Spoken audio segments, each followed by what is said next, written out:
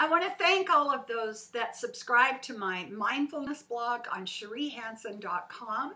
The 59,500 people who have chosen to subscribe as I work my way through issues and share them with you.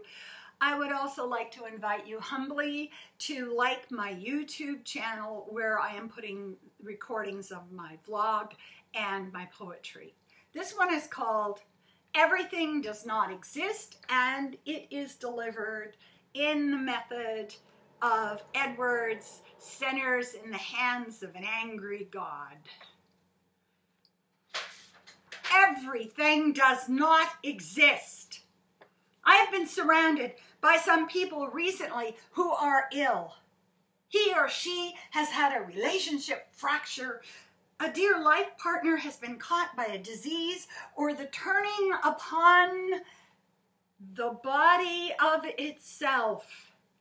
Meanwhile, the social media feed has become a sewer pipe of toxic waste. The environment is under attack. Political systems are like some dissatisfied person sitting on a bar stool, random flirtations with something new, looking for answers in all the wrong places. Children of only the select few are protected. Women's rights are being eroded so much it is like watching a glacier recede. The society is time traveling to the 1950s. Naomi Wolf, in her book Vagina, analyzes the fear based resistance when women are gathering power. It accounts for much of the clawback of equality that is happening currently.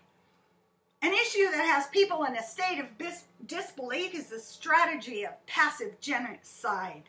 From the earliest day in American history, the settlers embraced the concept of outward signs of inner grace.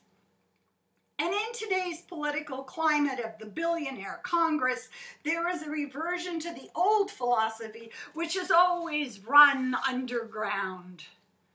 If a person is selected by God, that person will be male. That person will be white. That person will be physically attractive. That person will be healthy. And lastly, the badge of God's love comes with the presence of wealth. The removal of protection for the weak, the ill, the deformed, the outcasts, those who are not a mirror image of the white male billionaire model is the logical result of the philosophy of grace and damnation. Passive genocide works. Street people die in the cold, drug addicts overdose in a system of selectivity, and the lower class have a higher infant mortality rate. While the uber rich are having new hearts popped in like a new battery. Knees, hips, shoulders, kidneys, facelifts, breasts renewed. Options float around this select group. At the same time, so many are in free fall out of the middle class because of the lightning strike of a single illness.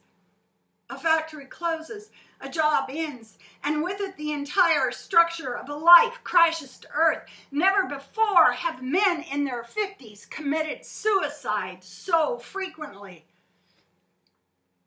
The greatest darkness that a social system can carry is the blindness to the understanding that no single person or family or class must earn the right to be included. Care and protection is a birthright. And it is in these countries that have the vision of equality that economic su- success is the most vibrant. The soul of a nation can be blighted. Slavery, native genocide, racial hatred is a deep sickness that will be carried within the history of a country.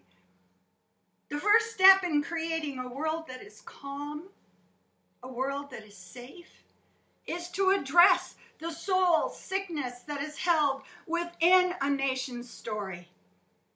Compassion, inclusiveness, equality, commitment to humanity are the real outward signs of inner grace. Inevitably, each person and each nation selects a philosophy, a cosmology to reside within.